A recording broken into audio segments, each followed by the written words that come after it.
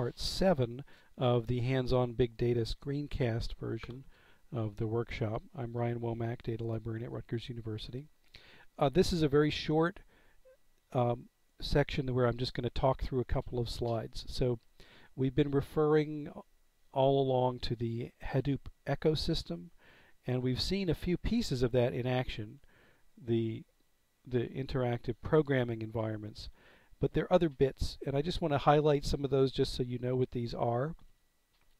Um, we've seen Hue. Hue is the web administra administrative interface, or a web administrative interface.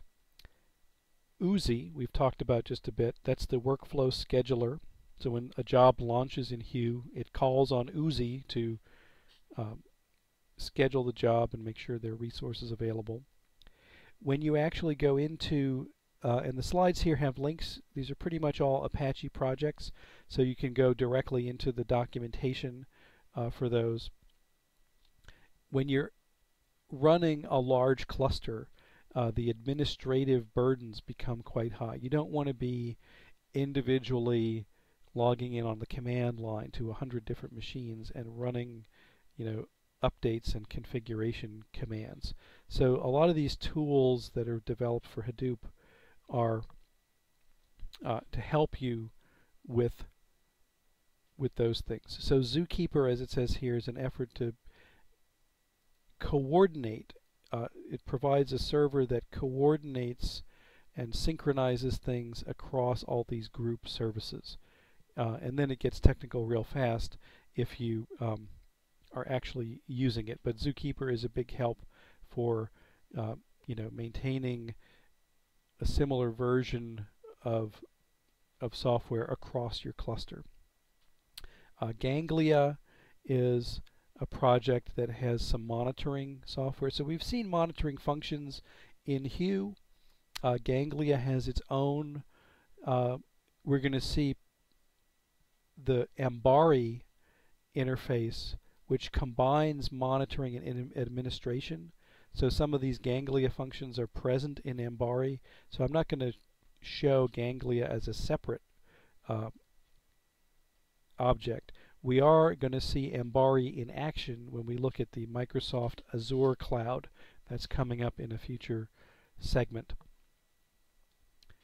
Um, mention a little bit about data frameworks. So we've talked about the HDFS Hadoop file system. There are many other things that are done with big data.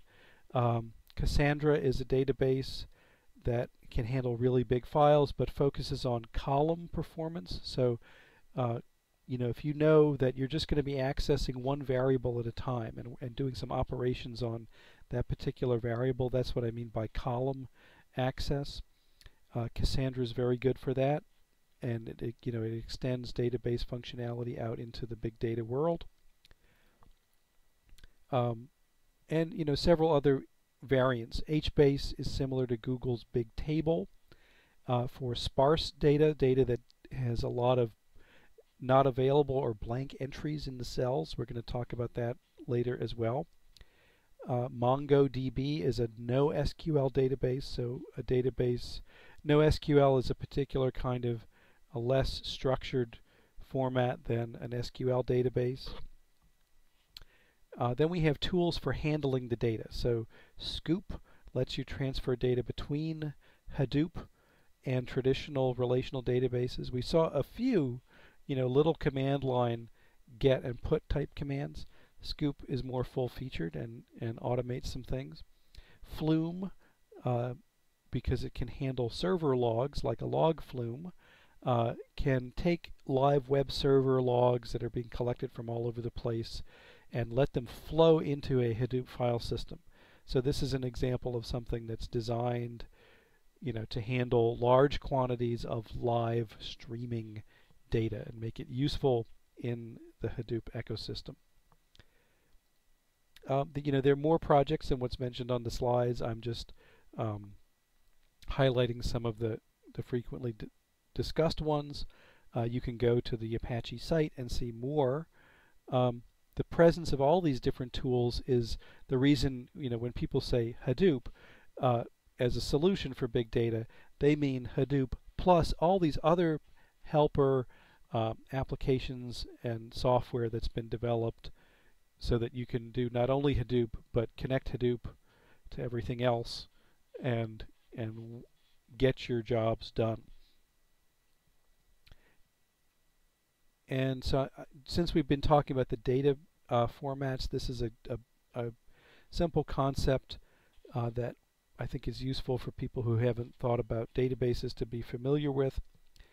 Um, I've alluded to it throughout that there's a difference between the structured database world of like an Oracle database or a MySQL database where the setup is very well specified and things that, that live in specific tables have to be well behaved. They have to um, be strings if we say they're strings and uh, abide by field lengths and things like that. When you have uh, you know web logs and, and input flowing in from lots of different places, the data is not structured in that sense. Um, and so what happens uh, in a traditional database, the the term they use for it is an ACID compliant database. ACID meaning atomic, consistent, isolated, and durable. So ACID databases are what enable you to do banking transactions, for example. When I hit um, submit on, you know, I want to complete my bill payment, uh, and anything goes wrong along the way, there's an ability to say, this transaction did not complete successfully. Um, let's roll everything back to where we started before this person tried to deduct $400 from their account and it didn't go through. Um, so we can and we can treat all those transactions separately, uh, keep them isolated, and you know have this kind of reliability in in every transaction on the database. That's ACID compliance.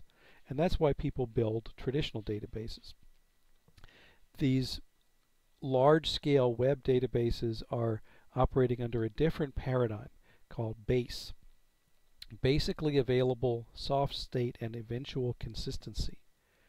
So what this means is, you know, over time, you know, we might have a field or a space in, you know, someone's user account is logging, you know, their searches and things like that, um, and it's getting updated, and it'll eventually be updated, and it, it, the data is being spread out across multiple nodes.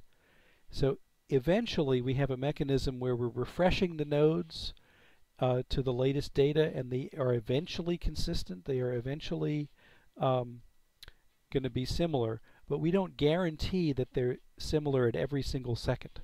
We, we may have one fresh node and one stale node.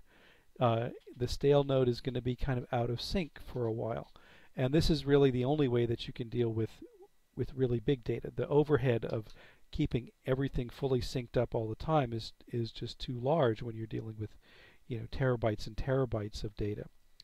Um, so you may hear these paradigms, base versus acid, and I just wanted to say a few words about that so that you're familiar with those. Okay, so I'm going to stop here for this little mini section. The next section, we are going to show you what the Microsoft Azure cloud looks like. And I'll pause the video right now.